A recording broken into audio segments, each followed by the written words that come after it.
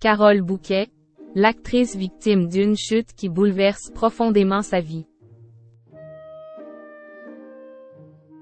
À 66 ans Carole Bouquet s'apprête à repartir en tournée avec l'un des textes pour lesquels elle nourrit une véritable passion, Bérénice de Racine. Si elle ne cache pas sa joie de retrouver ce personnage, elle révèle se sentir intranquille. Une chute, survenue il y a dix ans bouleverse depuis son quotidien, et lui fait prendre un risque sur les planches. Pendant un mois en 2022, à l'automne, Carole Bouquet a donné une magistrale interprétation de la pièce Bérénice à la Scala de Paris.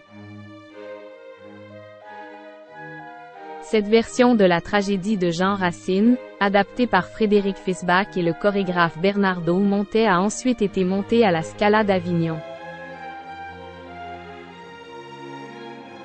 Un événement qui était des plus attendus. Carole Bouquet demeure en effet l'une de nos plus grandes et belles comédiennes et son jeu sur scène continue de faire l'unanimité. Un an plus tard l'actrice n'a toujours pas renoncé à cette pièce qui est, selon ses mots dans Gala ce jeudi 12 octobre, une obsession.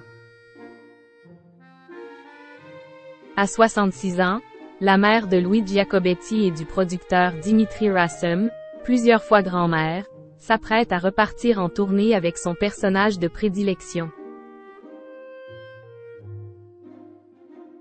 N'allez pas croire Quan ne lui propose rien d'autre. Carole Bouquet vient tout juste de finir le tournage d'une série pour Apple et s'apprête à enchaîner avec une autre sur Amazon. C'est temps-ci j'ai l'impression d'être dans une bousculade. Je n'aille presque pas une semaine entière de libre avant Noël s'amuse elle Elle prévoit tout de même une pause aux alentours de la Toussaint et envisage de demander une formation réseaux sociaux à l'aîné de ses petits-enfants, Daria. Quand je suis fatiguée ce n'est pas génial. Même si elle brûle de remonter sur les planches pour dire le texte de Racine, auquel elle voue une véritable passion, Carole Bouquet ne peut s'empêcher d'éprouver une légitime angoisse à l'idée de remonter sur scène. Pour vous dire la vérité, j'espère que je n'aille pas oublier le texte lance-t-elle. Et de révéler avoir vécu il y a plusieurs années un événement qui a beaucoup changé sa vie.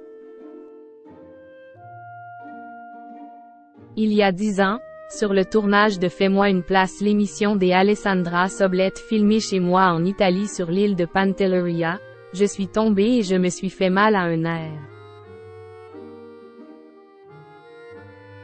Depuis j'ai une douleur qui, malheureusement, ne me quitte pas. Quand je suis fatiguée ce n'est pas génial, il y a des médicaments qui peuvent atténuer la souffrance, mais ils ne font pas bon ménage avec la mémoire. Et sur scène je me vois mal avoir un trou de mémoire, confesse-t-elle avec pudeur.